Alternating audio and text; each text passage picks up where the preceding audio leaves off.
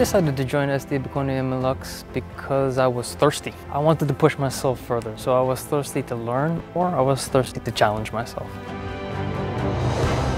I would describe this journey as thought-provoking.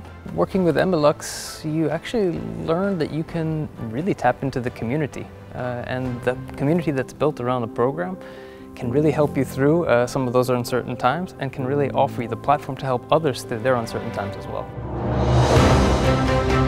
To a potential EMILUX candidate, I would say get ready for something inspiring but also get ready for something that's going to be inspiring some humility as well. You find out very quickly, as much as you thought you knew, there's much more to learn, and that's a great challenge. On my personal and professional life, this program has really helped me with three things. Network, network, and network. EMILUX is a game changer and a catapult for your career.